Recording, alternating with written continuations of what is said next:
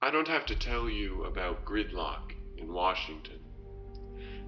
Everybody knows it's terrible for our country, our economy, our children. Politicians sit and prattle while nothing gets done. Congressmen fly home on corporate jets to raise money from groups with no goals other than advancing their own narrow, selfish interests.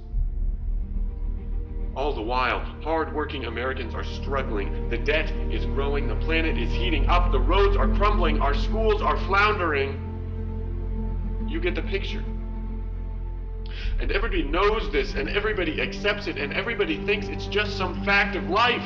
How did we get into this state, this state of apathy and stagnation, of blocked bills and blocked progress? Because responsible people like you are just sitting on the couch some people are loud, some people are very loud, and these zealots show up. They vote in primaries, they give money, they create a hyper-partisan Washington. That's how democracy works. The people who get off the couch and yell and scream get what they want. So, Get off the couch. America is the richest, most vibrant, most diverse democracy in the history of civilization. But democracy isn't a spectator sport. Great nations don't run on autopilot. Responsible people need to do responsible things.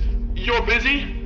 Well, we're all busy. So were the Americans who drafted the Constitution, and the Americans who landed at Normandy, and the Americans who marched for civil rights. So get off the couch, vote for action, because all it would take to start changing this mess is for sane people like you to elect three to five moderate senators willing to work together to solve real problems. Three to five moderate senators willing to tip the balance of power from the extremes back to the middle. Back to the moderate political middle where 70% of Americans say they are. What you tell your grandchildren you did when the country was falling apart? Get off the couch.